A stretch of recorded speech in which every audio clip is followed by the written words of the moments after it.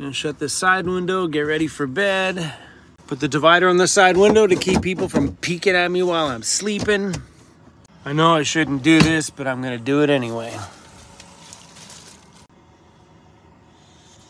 Yeah, that's a bad idea. Mustard sandwich. Mustard sandwich just before bed. Heck yeah. I grew up on welfare, so mustard sandwiches were uh were just a thing.